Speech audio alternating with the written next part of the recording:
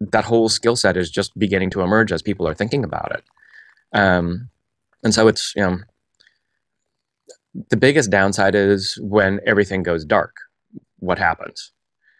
Um, and if power goes out, if the networks go down, um, you know, if there's sun flares that knock everything out for a few days or months or a year, what happens?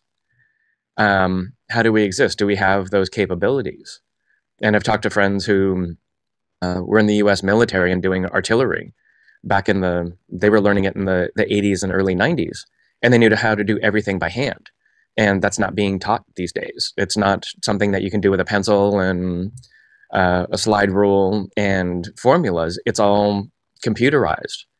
And so um, if the electrical components go down, they can't fire artillery.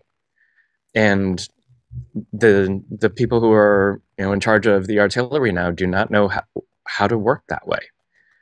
And so um, they can't do the fallback. And it's as we create digital skills, we need, still need to be able to hold on to you know the work sort of caveman tools as well. How do we do this on paper? How do we do you know do this in a secondary manner it's not so much an if things go dark but it's when things go dark and hopefully they would come back.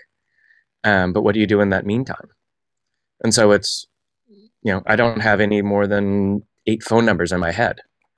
All my phone numbers are in my devices. And i either you know type in what i'm looking for or, or talk to you know talk to my phone and my phone will pull up you know one of the 3,200 contacts in my address book and, and call them.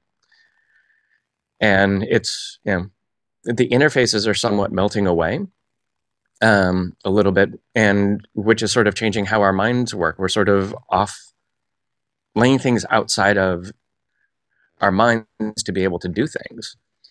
Um, and sort of handing it over to technology to do things, which they have its benefits, um, but just being able to have a fallback is good as well.